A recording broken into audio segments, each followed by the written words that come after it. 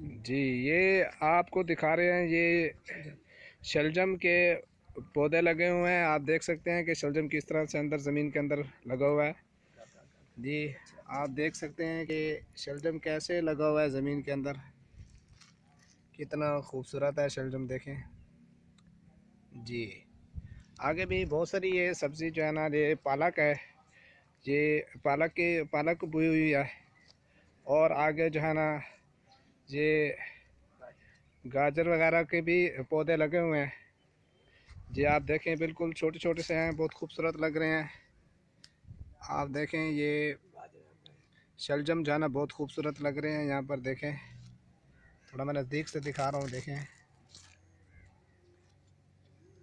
बहुत ही खूबसूरत है, और ये जो है ना, ये पालक की सब्ज़ी लगी हुई है। पालक का जो है ना, इस तरह से बोई हुई होती है।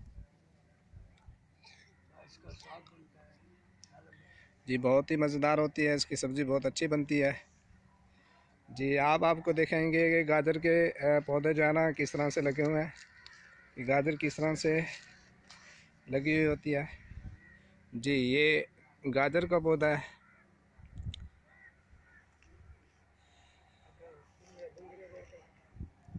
जी, धनिया भी लगी हुई है साथ और जो है ना, बुंगरे वगैरह की सब्ज़ी भी खड़ी है। बहुत ही अच्छे होते हैं इनका जो और मूली वगैरह के भी वो लगी हुई है पौधा, उसका मूली का भी पौधा है। जी, आप देख सकते हैं, बहुत ही खूबसूरत लग रही हैं ये चीज़ें।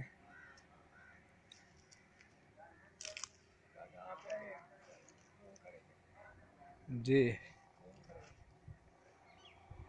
जी, देखें, जी।